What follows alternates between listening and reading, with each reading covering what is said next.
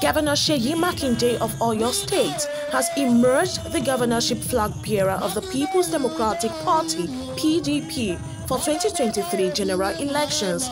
The primary election, which was between Makinde and Mr. Hazeem Gbolarunmi, was conducted by the Senator Ben Obi-led governorship primary committee.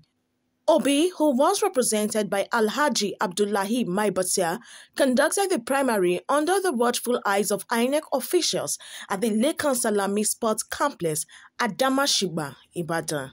In his acceptance speech, Governor Makinde pledged to fulfill all promises to the party and the people of Oyo State, as well as foster the bond of unity and upholding the trust and confidence reposed in him.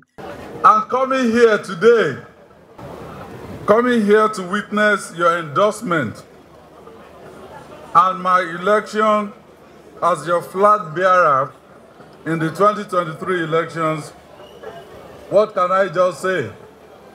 I can only say thank you. Thank you for believing in me. And thank you for believing in our great party, the People's Democratic Party. Thank you for trusting in me. The foundation for trust is truth. I told you in 2018 that I may not be right all the time, but I will be honest with you all the time because I have control over whether I want to speak the truth or not. And because I've been truthful to you, now we have that bond between us.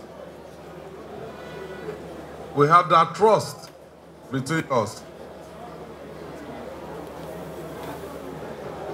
And I say to you once again, I will keep all the promises made to you. I promise you this night I'll call my brother, Alaji Azim Belarumi, and it is a new beginning for PDP in Oyo State.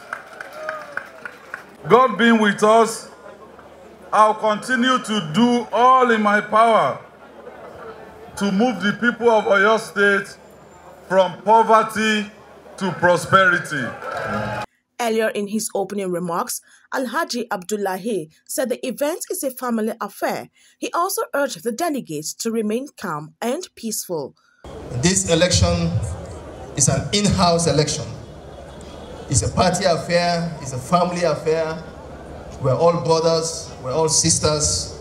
What is supreme is that at the end of the day, we will have a very successful Congress where a gubernatorial candidate for the party will emerge for the forthcoming 2023 general elections.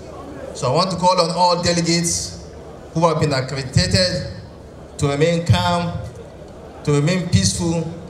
Makinde emerged as the PDP governorship candidate for Oyo State, having polled a total of 1,040 votes to defeat his only opponent, who polled two votes.